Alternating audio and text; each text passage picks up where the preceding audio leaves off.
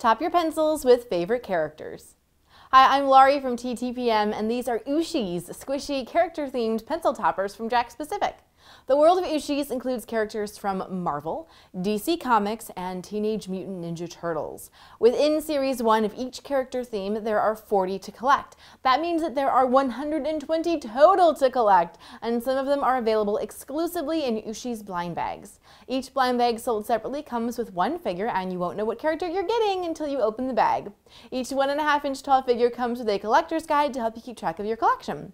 We collected Batman, Iron Man, and Splinter. All three of these are common figures, but they're also rare and limited edition figures to find.